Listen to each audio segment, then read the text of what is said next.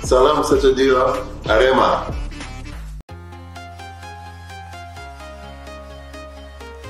Assalamualaikum warahmatullahi wabarakatuh. Salam olahraga.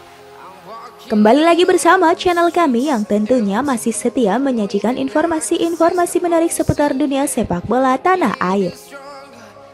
Penyebab Abel Camara mandul di putaran kedua Liga 1 2022 diungkap oleh pelatih Arema FC, Iputu Gede. Sebagai pelatih baru, Iputu Gede cukup tanggap dan cepat menganalisis kondisi tim Arema FC.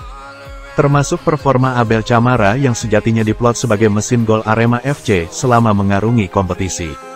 Apa boleh buat, ketajaman Abel Camara, seolah hilang di putaran kedua dan justru disalip oleh striker lokal Dedik Setiawan alias Dedik Drogba. Selama putaran kedua Liga 1, Abel Camara belum sekalipun berhasil menjebol gawang lawan. Performa buruk tersebut semakin disorot saat Arema FC melalui lima pekan beruntun dengan menelan kekalahan. Hingga pekan ke-23, torehan Abel Camara masih kalah dari Dedik Setiawan yang telah mengemas 7 gol. Sejauh ini, Abel Camara baru mencetak 4 gol.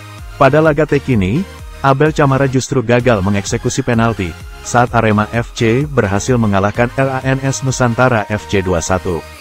Pelatih anyar Arema FC, Iputu Gede, telah menganalisis penyebab dari penurunan performa striker asal Portugal.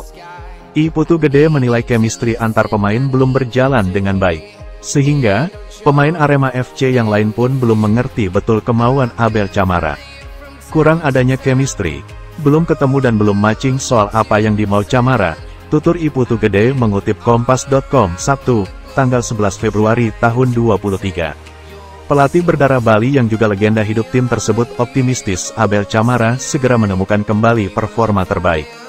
Saya pikir dia, Abel Camara, bisa dan punya potensi, penalti kemarin. Saya juga, kenapa saya tunjuk, supaya karena kalau dia cetak gol akan berkembang kuat. Tapi, keadaan berkata lain, kata mantan pelatih PSMS Medan itu. Ini pembelajaran juga, yang membuat kami sendiri kuat, kalau individu kuat, tim akan kuat.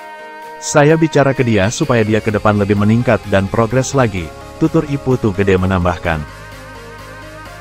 Baik demikianlah beberapa rangkaian informasi sepak bola kali ini. Jangan lupa klik tombol subscribe. Nantikan dan terus tonton informasi menarik lainnya seputar sepak bola dari channel kami. Sampai jumpa, salam olahraga.